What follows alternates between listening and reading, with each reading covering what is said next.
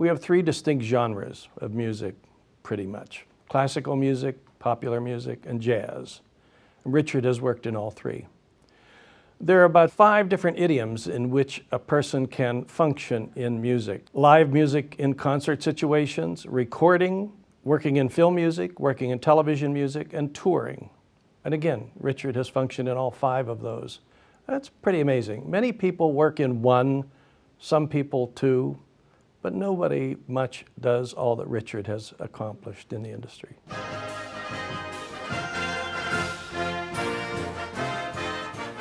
Alumnus Richard Kaufman is an internationally renowned conductor, accomplished violinist, and respected studio music director.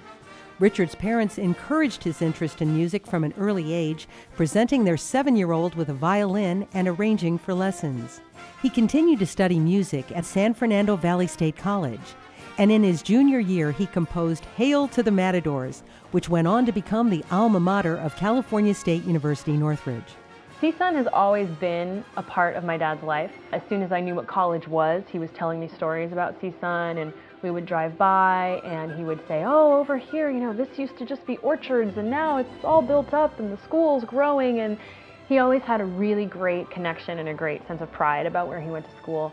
After leaving campus, Richard served as music director and later as conductor for numerous stage productions and musicals. In the 1970s, he played violin on television and film scores. In 1984, he joined the music department of Metro Goldwyn Mayer Studios. For the next 18 years, he supervised music for MGM film and television projects, receiving two Emmy nominations for his work. At one time in his career, Richard actually coached actors how to look like they were playing instruments in films. And at one particular time was on The Witches of Eastwick with Jack Nicholson and Susan Sarandon. So comes time for shooting the scene with the piano. He suddenly says, Richard, come here. He says, you know, you, you, know, you know how to play that thing, whatever it was that they were playing. And Richard says, well, yes. And he says, well, I, I, why don't you you know, play it instead. And Richard said, but, but Jack, you know, you know it. You know, we've been playing. No, no, you do it. And so, long story short, they shaved, Richard has lots of red hair on his arms. They shaved his arms up to here, and he proceeded to play the part. So the hands you see in that scene are Richard's playing. That's right. Now.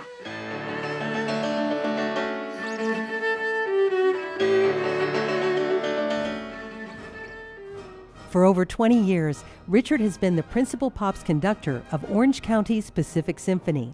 He is currently in his seventh season with the Chicago Symphony Orchestra, and he holds the permanent title of Pops Conductor Laureate with the Dallas Symphony. In addition, Richard regularly appears as a guest conductor with symphony orchestras throughout North America. For many years, uh, Richard was the uh, conductor of the Dallas Pops. One particular Halloween, they honored him and everybody in the orchestra wore Halloween outfits and so on. The Dallas Mavericks also got involved, the pro basketball team in Dallas, and they gave Richard a uniform, shorts, tennis shoes, the whole thing, and he walked out to the giggles of the audience, and he turned and said to them, We're here to play.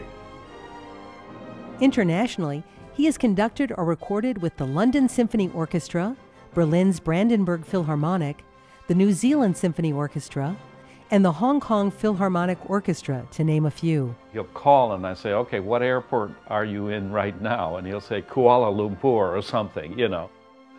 In 1993, he received a Grammy Award for Best Pop Instrumental Performance for a recording he conducted with the Nuremberg Symphony.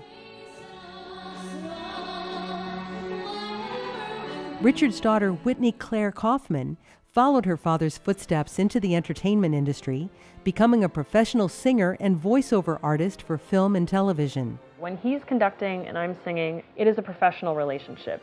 He'll give me notes and I'll ask questions and I'll say what I need and he says what he needs and it's very collaborative as it would be with anyone else. But then there are those moments, especially during the performance, where we'll just have a moment where he'll be conducting and he'll just kind of look at me and like wink and I'll, you know, wink back from the microphone. Richard and his wife Gayle live in Encino, allowing Richard to remain close to his alma mater. You are forever part of California State University Northridge, and California State University Northridge is forever part of you. Daddy, I'm so sorry that I can't be there to see you receive this amazing award, but thanks to you, I am working and performing this weekend in Greensboro. So I send you lots of love. I know that you are a very humble man, and it's very hard for you to believe that people honor you, but you deserve to be honored. You certainly deserve it. You've worked bloody hard, I know, because I've known you a long time. Congratulations on a well deserved award, Richard.